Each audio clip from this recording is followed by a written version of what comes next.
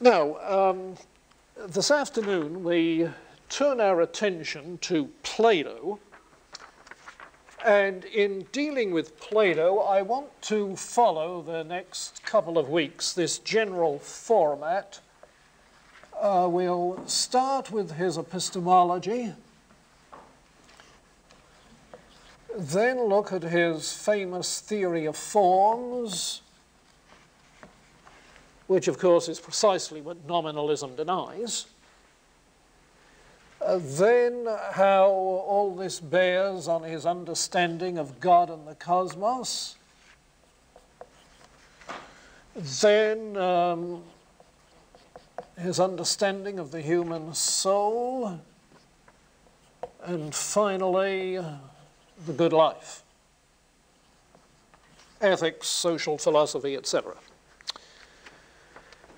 Um, now, to make the transition to Plato, let's cast our minds back into the pre Socratics and the Sophists, where we've laid emphasis on two lines of thought that developed there. Uh, one has to do with that pre scientific cosmology, the orderedness of nature as a whole which for the sophists in their skepticism raised questions about the possibility of knowing anything about the reality of what governs nature at all. And um, that epistemological question surfaces then uh, because of the efforts at pre scientific cosmology. Uh, the other line of thought we emphasized was the notion of moral order. Uh, the city state and its proper ordering of justice, and the moral ordering of an individual's life. Now, that also raises epistemological questions. Uh, questions about moral knowledge. Can we really know objective truth in ethical matters? Or are we again caught in the competition between knowledge claims and mere opinion? Um, are there universal moral ideals, or are we left hanging in some relativistic situation in which every man is the measure of all things? Protagoras, you remember. So, whether we take the scientific cosmology approach or the moral order approach, the same questions about knowledge versus skepticism develop in the sophists and, of course, in Socrates' attempt to counter the thinking of the sophists. Now, Plato inherits that debate from Socrates. So that whether Plato is talking about the virtues or about his major concern over the improvement of the soul, or whether he's talking about the ordering of the city state in his political writings, or whether he's doing some things, as he does in a few places, on um, cosmology, the order of nature. In, in all of those areas, the same question arises How can we know for sure? How can we get beyond relative varying opinions? And uh, we see that the sort of direction which Socrates started, the alternatives of rhetoric versus dialectic, come into focus in Plato's thinking. Now, this week you are reading Plato's Meno, among other dialogues. And that particular dialogue, the Meno, it gets right at the heart of this issue. and helps you to see the way in which it's related to ethical matters.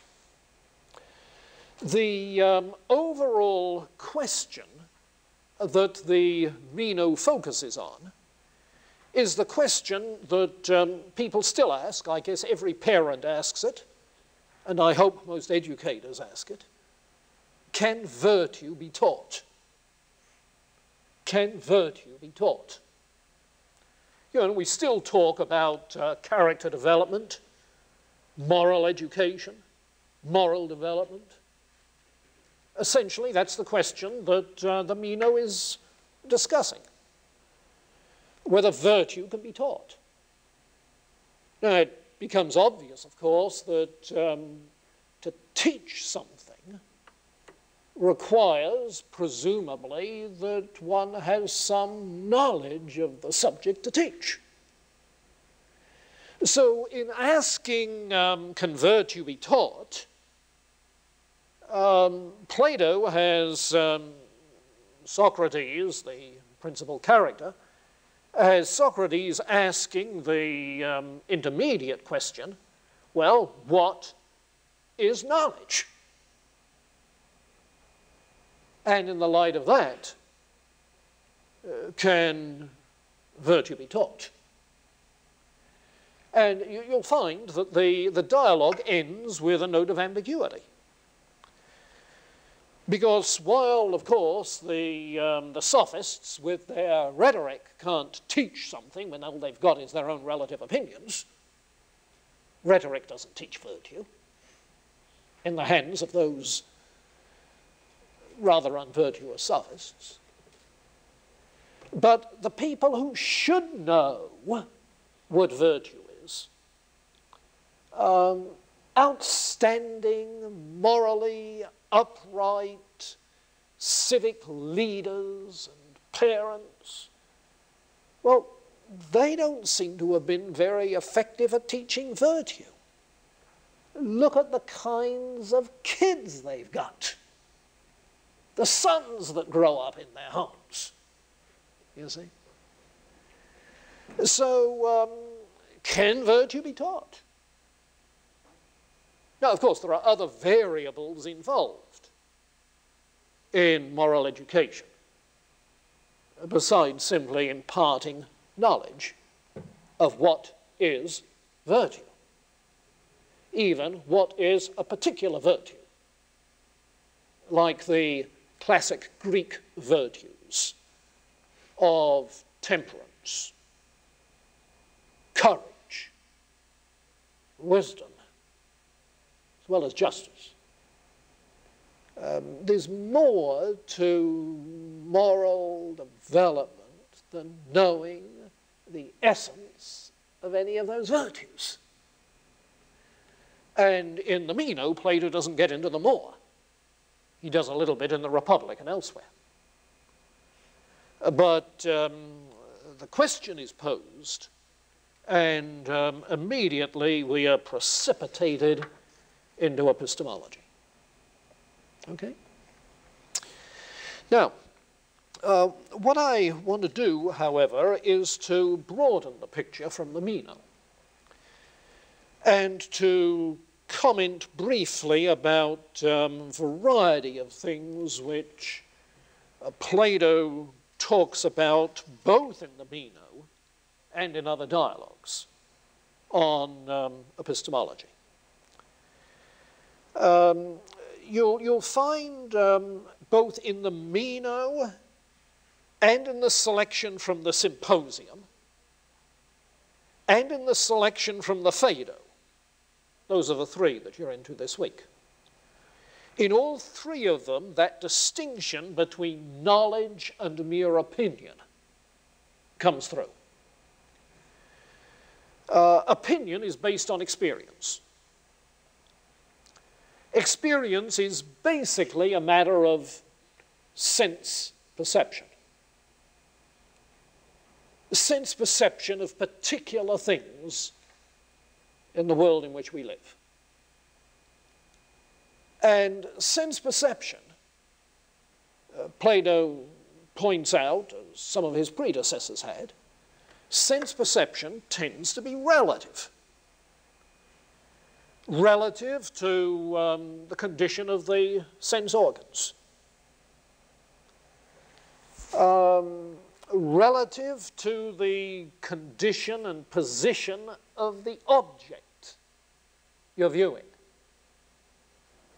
And of course, particular objects are constantly changing in some regards. And so the condition of the object is very significant.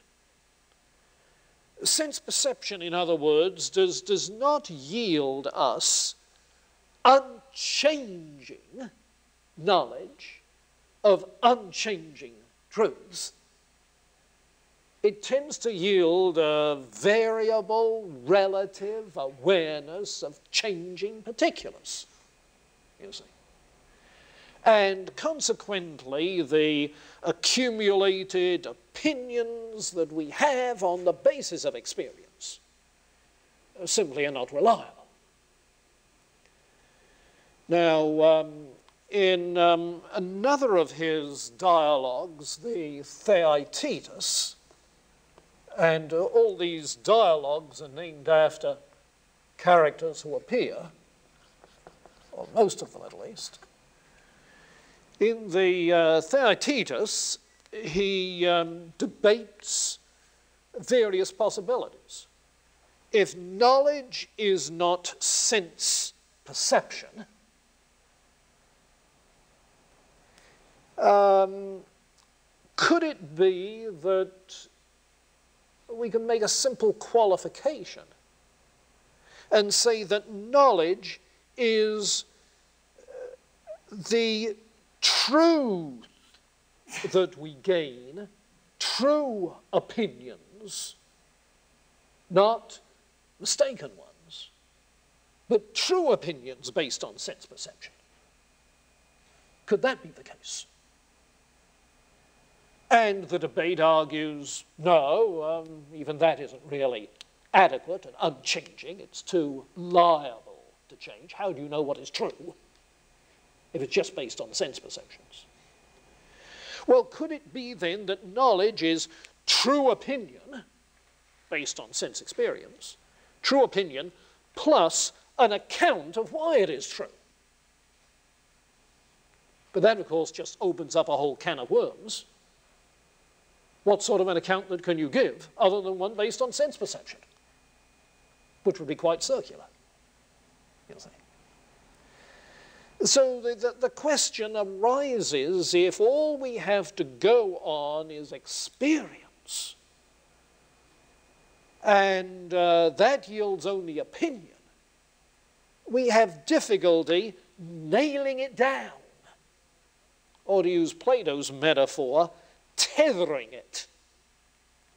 And he uses that metaphor in the, in the Meno. Um, opinion true opinion, may be all right for practical purposes like avoiding chariots while you cross the street. It may be all right for the daily tasks in world of particulars.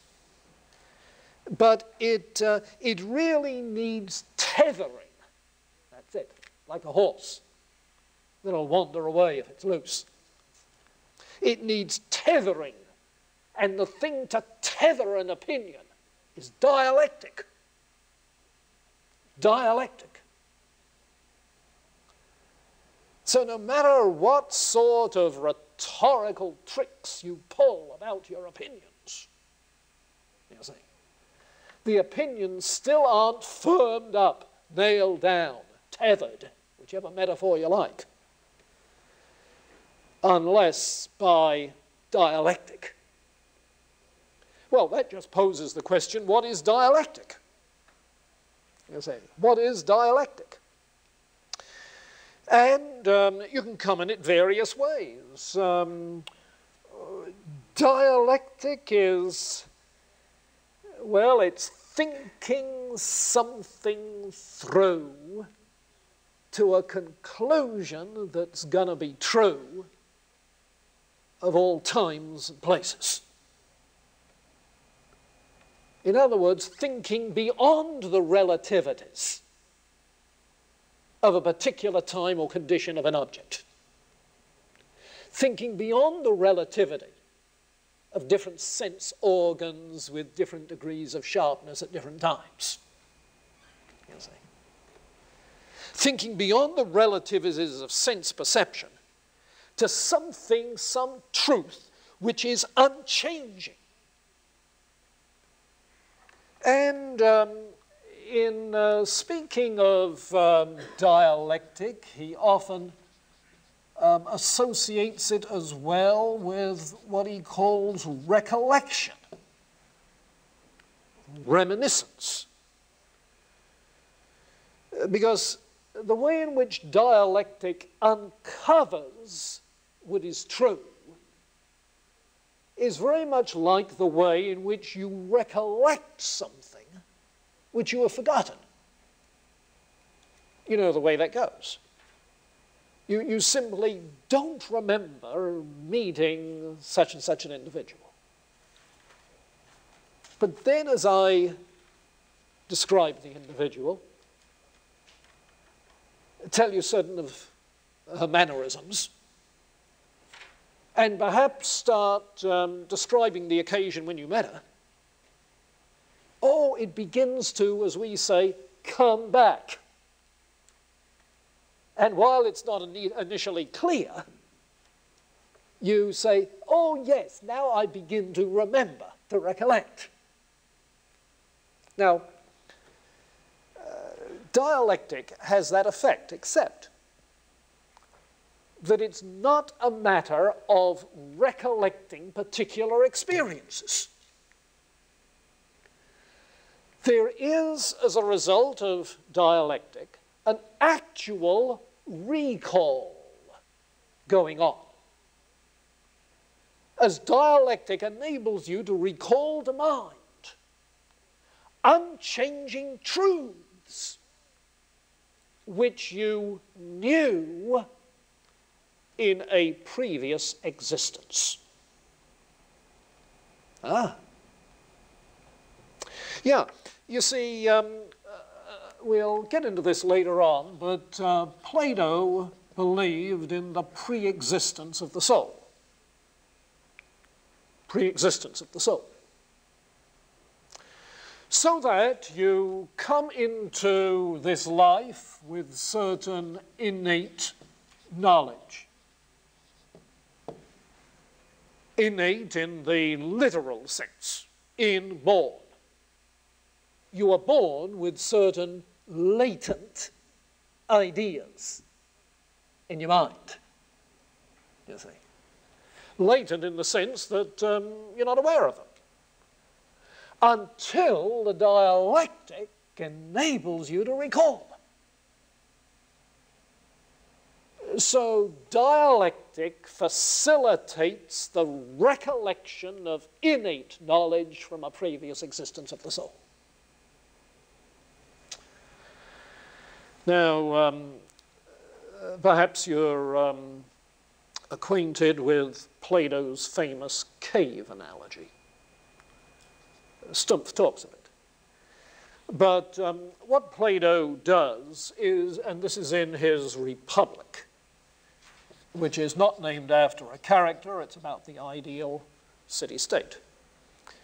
Uh, but in the Republic, he, um, he likens the um, um, the soul in this life to a prisoner in a cave.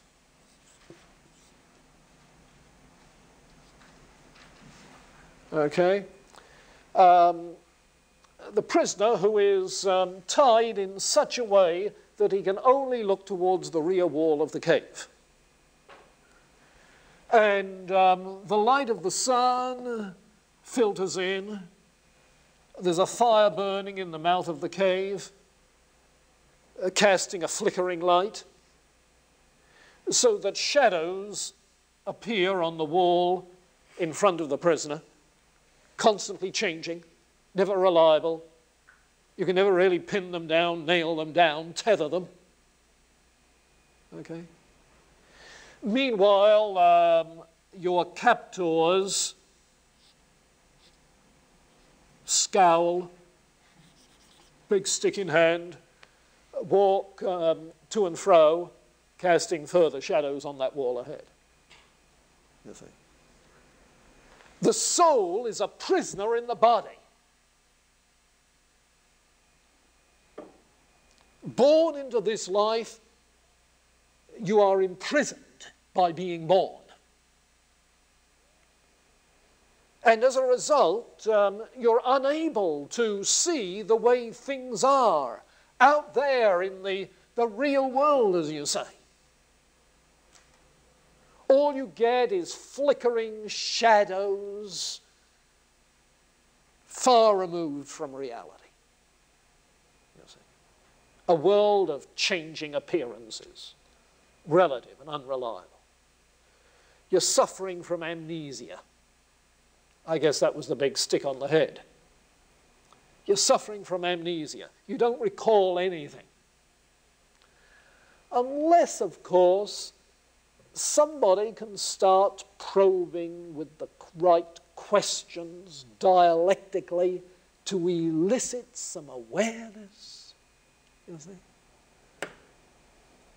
And recollection begins.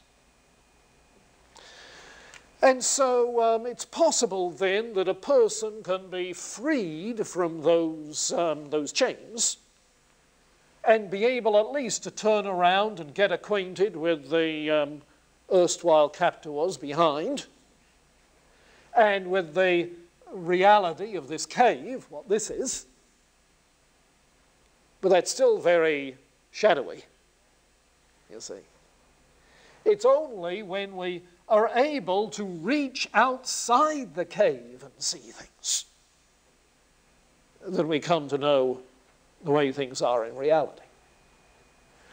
So, what Plato is depicting then is um, a scheme in which we have two realms of being. Okay? Two realms of being. A realm of physical particulars a realm of um, universal truths, reality, okay, universal truths. Yeah, this is what we have to know. This is simply the arena of opinion.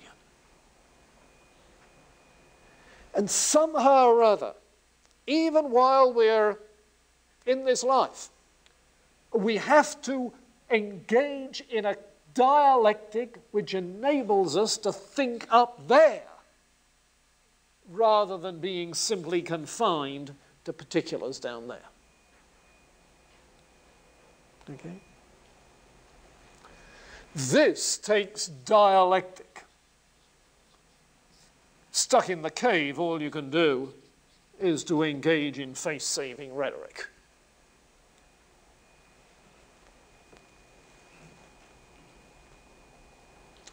So in the Meno, uh, you find that uh, Plato talks of knowing by recollection the unchanging, universal essence of something, like the very essence of virtue. Oh, recollection may be evoked by considering particular cases, particular examples. But dialectic is not empirical generalization across a lot of particular cases. Empirical generalization doesn't get you to the essence of the thing, only to similarities, some of which may be very incidental and unnecessary. So you have to get beyond the sense perception and the empirical generalization to thinking abstractly, in abstraction from all of those particulars, about the essential nature of things. Dialectic, then, typically will start with a hypothesis about the essence of something. In the Republic, as I mentioned before, the question is what is justice? So the discussion starts with hypotheses as to what justice is that are offered by Thrasymachus and others along the way, you see. And it is by the analysis of those hypotheses about the essence of justice that finally the dialectic gets closer and closer to the truth about justice. In the Phaedo, you'll find that um, Plato uses the concept of equality as an example.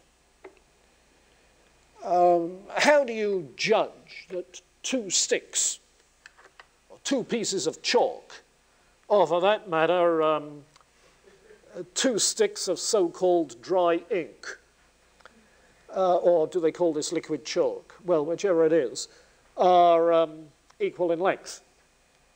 You'll see. Well, you say, but looking at them. No. No. You, you cannot say they're equal in length unless you already have a concept of equality to know what you're saying when you say they're equal in length. In other words, a judgment like these two sticks are equal in length presupposes a non empirical concept of equality, which um, may be elicited by talking about two sticks being equal in length. you'll see. But is not, as such, an empirical property. No two physical things are ever exactly the same, after all. So uh, the example there is of um, things being equal in length, all right. Now, it's with that in mind that um, uh, we have this um, print off from Plato's Republic.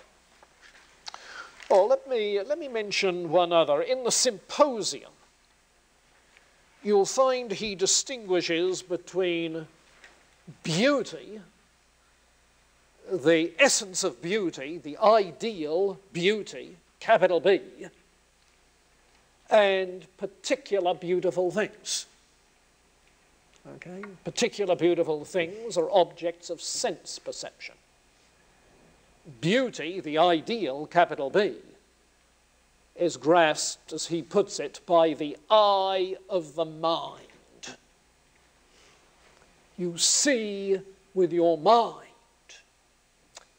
You see what I mean? You know how we often say that? You think? You're following a um, mathematical proof, and the conclusion comes out clearly, and you say, Oh, I see what I ought to have done. Huh? Yes, seeing abstractly, not with reference to sense particulars, but with reference to some abstract line of thought. You see? We say it again and again. Well, look at this um, excerpt from the Republic. Everybody have a copy? Okay, um, it's from Book 7 of the Republic um, in the context where the, where the um, cave analogy appears. Conceive, said I, that there are these two entities. One of them is sovereign over the intelligible order, and the other over the world of the eyeball. Okay, the sensory world. So, this then is the sensory world, the world of the eyeball and the other senses, and this is the intelligible world. Okay, intelligible and sense world. Um, the visible and the intelligible. Now, represent them, as it were, by a line divided into two unequal sections. Two unequal sections, all right? Make this one a little bit longer. And uh, cut each section again in the same ratio, all right?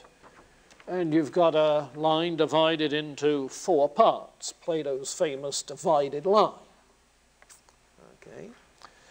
The section of the visible and that of the intelligible. And then as, the, as an expression of the ratio of their comparative clearness and obscurity, you will have as one section of the visible world, all right, as one section, images.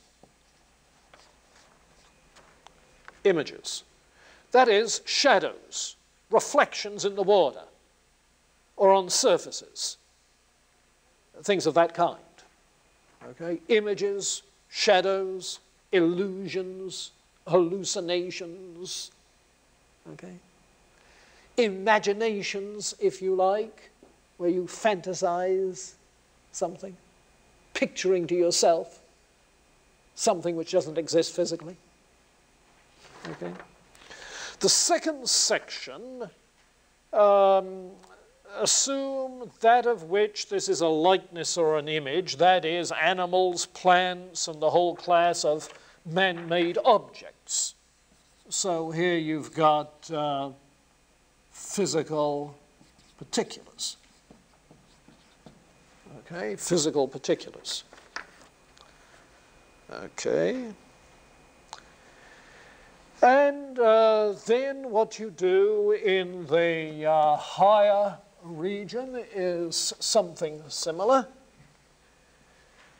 You uh, make a distinction, as he puts it, um, such that there is one section which the soul is compelled to investigate by treating as images the things imitated in the former division and by means of assumptions, images and assumptions, from which it proceeds to the conclusion.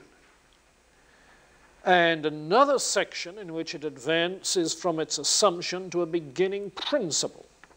All right, so here you've got, if you like, first principles Okay? And here you've got the reasoning um, and making of inferences.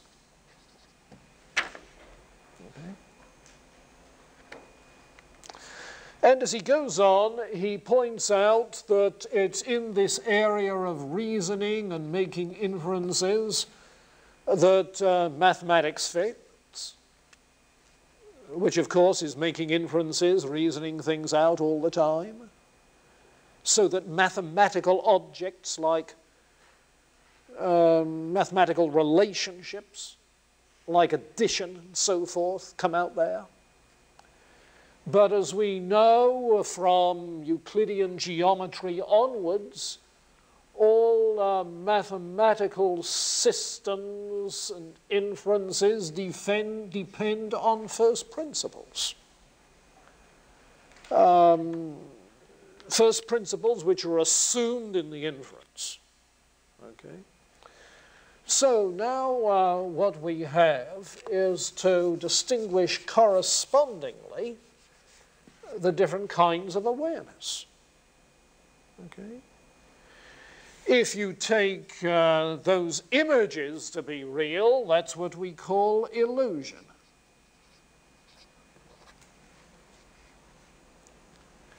This, dealing with um, physical particulars, is what we call sense perception.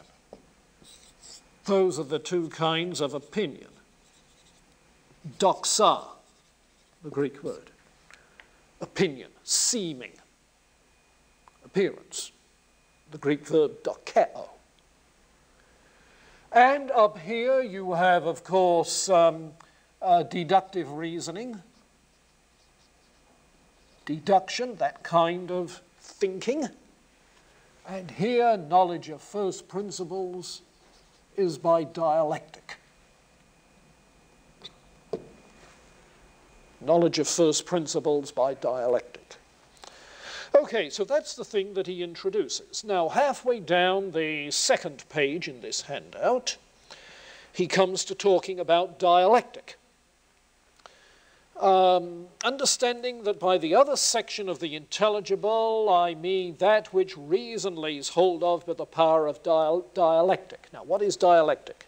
It treats its assumptions not as absolute beginnings, but as hypotheses, underpinnings, footings, springboards that enable it to rise to that which requires no assumption and is the starting point of all. And after attaining to that, again taking hold of the first dependencies and so proceeding downward to the conclusion. This is dialectic. And he goes on. It's no slight task that you have in mind. I understand that you distinguish uh, reality and the intelligible, contemplated by dialectic as something truer and more exact than the object of arts and sciences whose assumptions are arbitrary.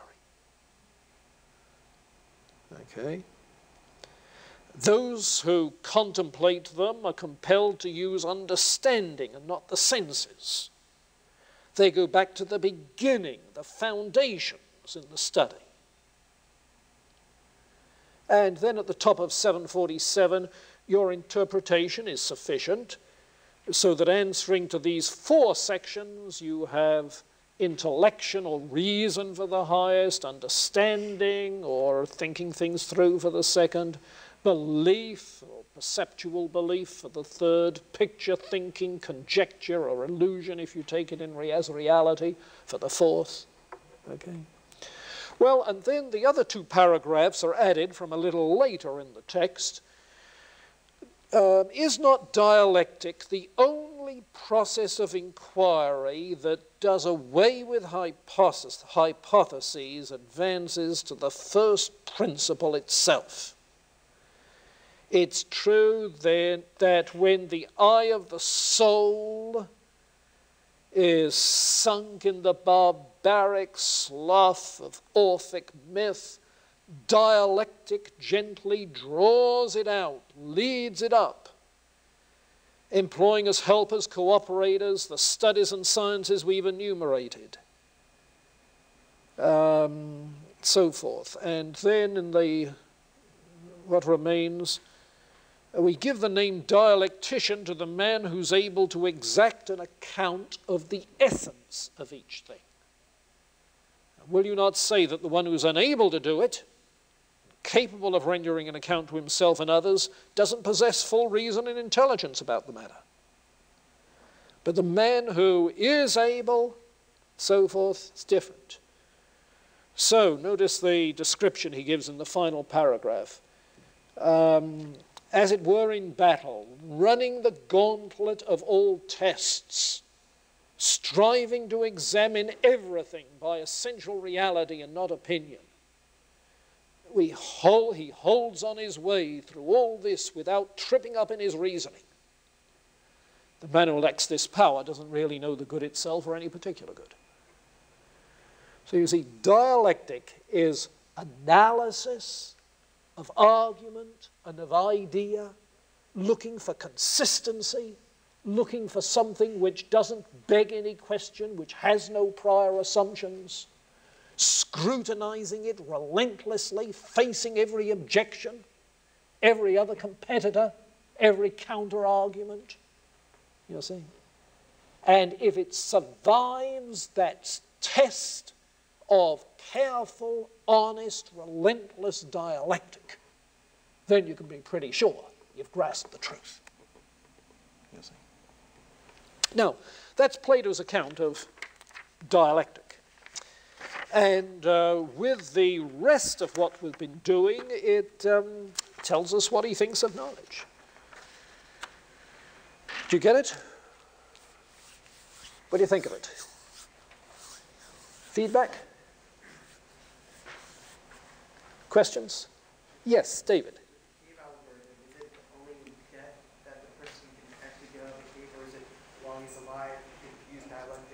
Yeah, we'll, uh, we'll look at that a bit more later on. Uh, he seems to think that it's only at death that we get the full vision of the sun, which in the analogy is the most ultimate reality, the source of being, the source of light.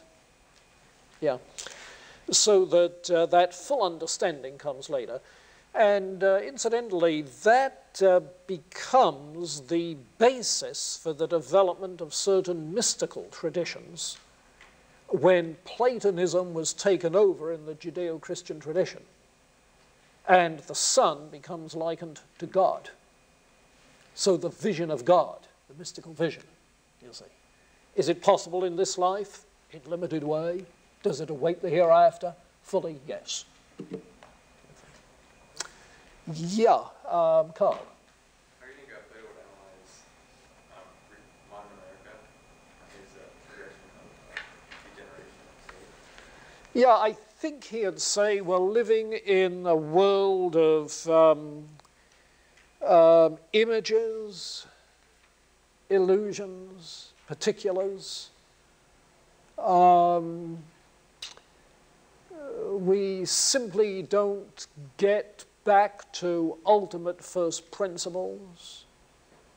Um, our society hangs not on the knowledge of some ultimate, eternal, unchanging good, but on some social contract, you see. Um, yeah. Yeah, I, I think he'd talk that way. It would not be Plato's ideal republic in which we live. Right. Um, yeah, Jason. No, not, is it Jason? Tim, okay.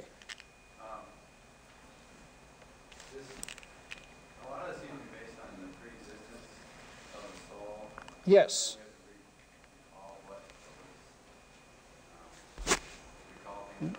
Right.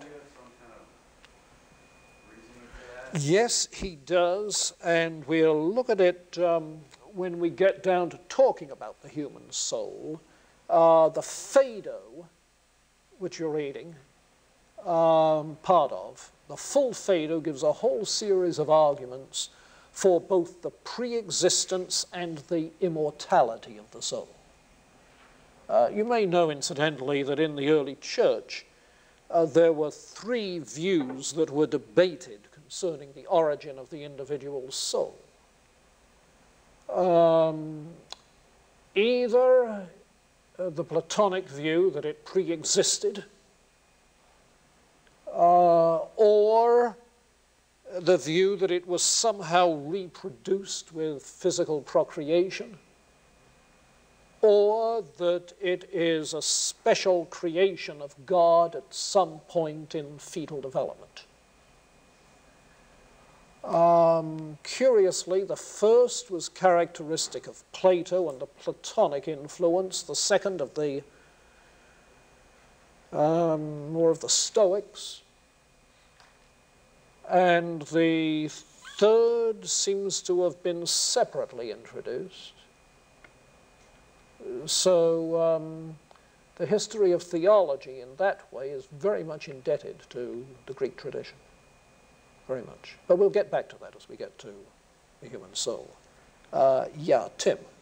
Um, where does recollection fit into his divided mind? Yeah. more opinion or more knowledge? Okay. Um, dialectic recollection of innate ideas. Yes, dialectic is the means, the method employed, okay, that facilitates recollection of innate ideas about those first principles. Get it? So, uh, recollection is seeing with the eye of the mind, whereas dialectic is how we get our minds into the position to be able to see. Okay?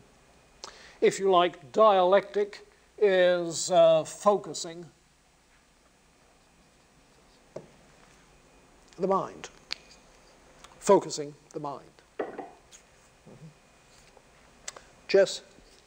Um, I'm not sure if I still understand if there was a great difference in necessarily the approach, like, let's say from the sophist, which who was mainly rhetoric, to the dialectic we see, like, Yeah. Was, that the big difference that you're seeing, or, and did that translate into their actual knowledge? Were they really believing, broadly speaking, really different things, or was it just their approach to that knowledge, the, the different, the, the difference? Yeah. No, if you if you go back to the differences in ethical matters which we saw emerging in the pre-Socratics, those are the differences which Plato would say are represented here.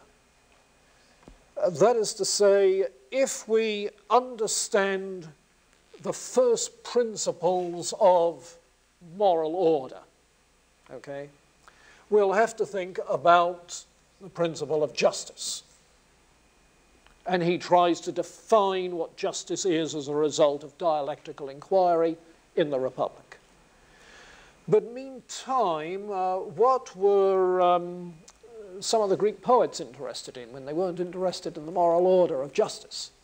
You see, what are the sophists after? What are they talking about? Well, um, in the materials we have, take a look at um, Democritus again, where Democritus was saying, yeah, be savvy, use your head, but uh, in order to um, ensure pleasure rather than pain, in order to be successful, in order to enjoy life, get ahead. Now, those were the kinds of values which um, are represented down here, the values associated with this world. You think.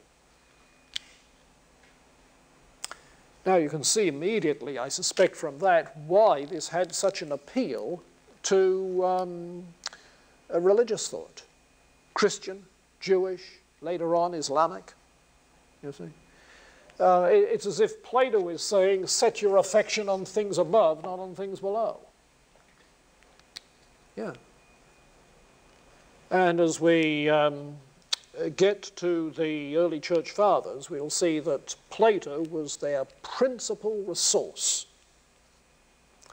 in resisting um, non Christian criticisms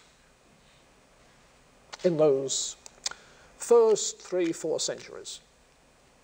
And indeed, I think as a result of assimilating it into Christian thought, it was the Platonism was the dominant philosophical influence within Christianity until um, oh 1200, 1100, thereabouts. Yeah, and you can see its appeal right away. You mentioned Allan Bloom last week. Yes. Suggest that he's also calling us back to first principles. And would you comment on how you see Christian higher education um, in that realm as Mhm. Yeah. Well, I think what Allan Bloom is doing is calling us back to um, the kind of liberal education through a study of the classics for which University of Chicago is famous. Uh, that is to say, while his criticism is that the contemporary university student talks as if there is no such thing as truth or falsity, right or wrong, by the time you get to the end of the book and he talks about his prescription for our society and for education, he's talking about reading all of the classics back to the Greeks and so forth. Now, why? It's not that you find um, one set of unchanging values.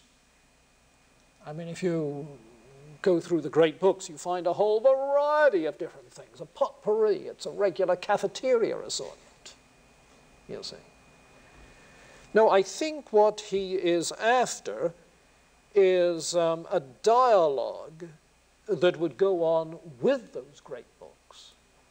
If you like, a kind of informal dialectic with those alternatives that would lead people to ask basic questions, even though they might disagree on the conclusions. They'll be trying to get back to first principles. Yes. Um, well, you know, I, I see uh, Christian liberal arts education very much related to that. Um, liberal arts education involving us in dialectic, dialogue, uh, with the uh, great minds and great ideas of the past and the present, while all the time looking at those ideas from the perspective of um, the Christian faith and trying to see the relationship. Yeah. Um, on the other hand, I, I, think there is a kind of education that is much more the rhetorical kind, that teaches you the tricks of the trade so you can get ahead in your chosen vocation.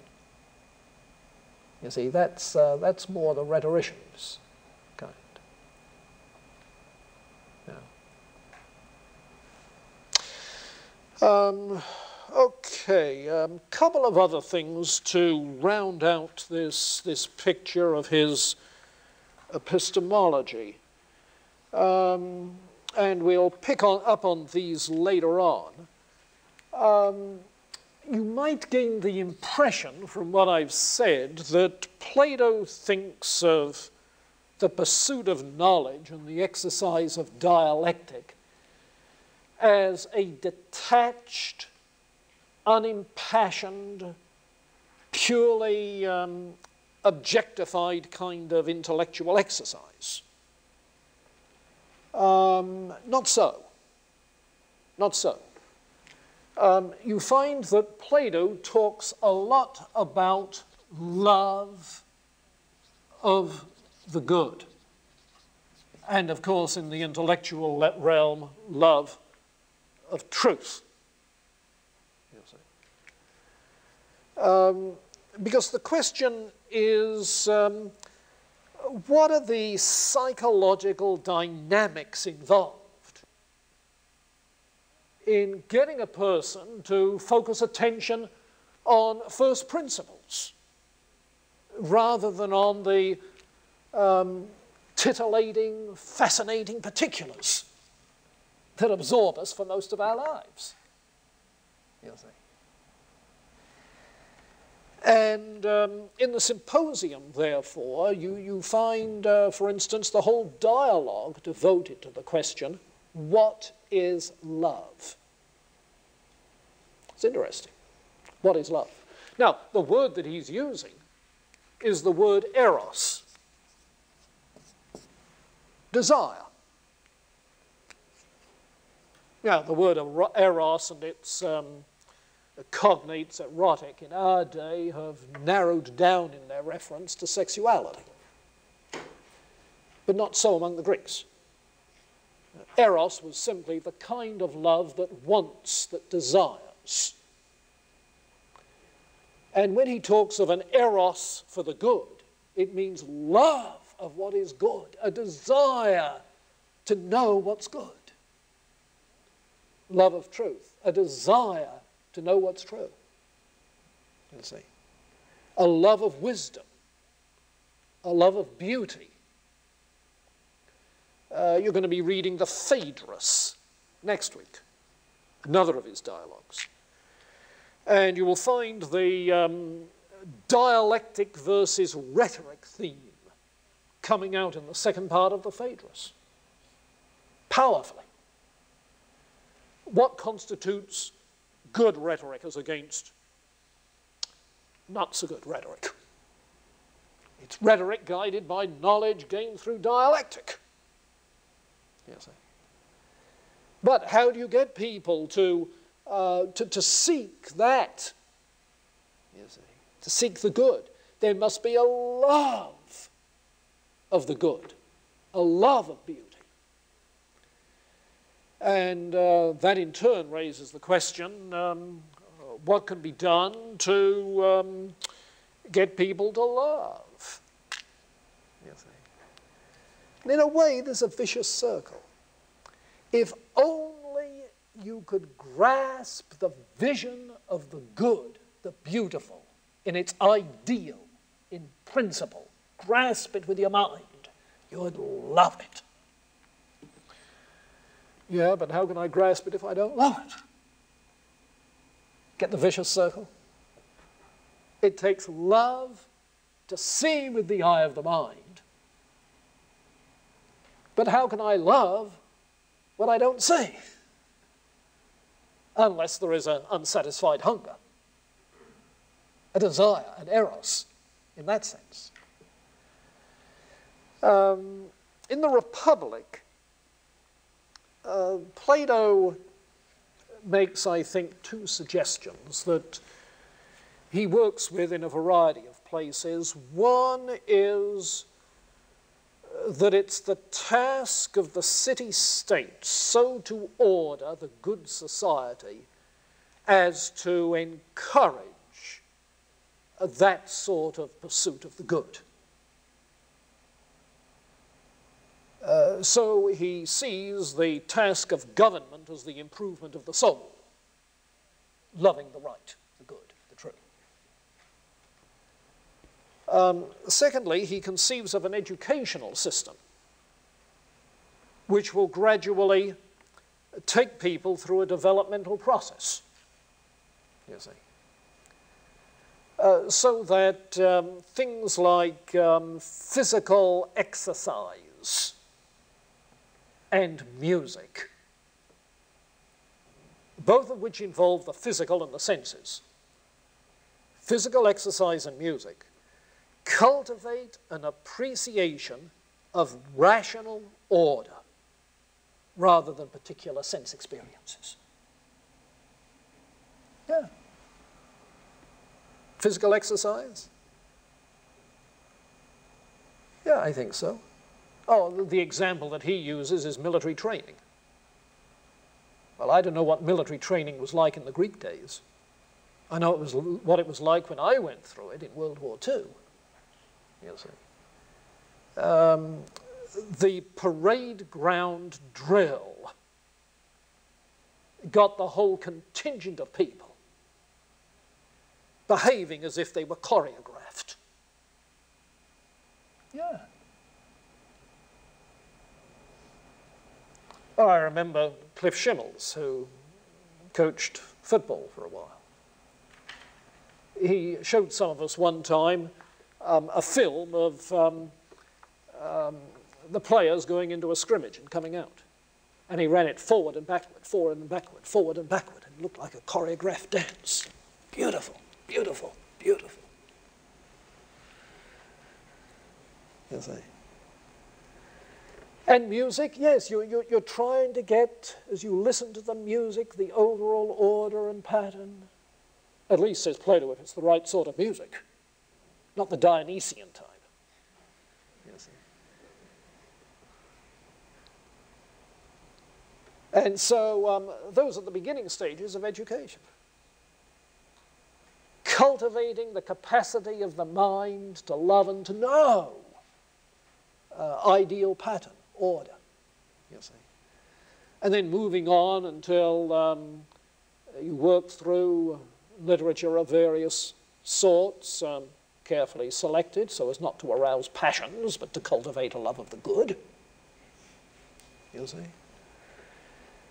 And the discipline of mathematics, which is the best preparation for doing dialectic. Yeah, to this day I'd buy that. Math majors who come to philosophy usually are much sharper in their logical processes than other people. Yeah. So, um, I think it's the same question as how do you get people to love uh, mathematics, to love order, intelligible order in any field. You love it by doing it, and gradually rise to higher and higher levels. So uh, that is, I, I, think, necessary to, to round out the picture of what he's talking about in epistemology.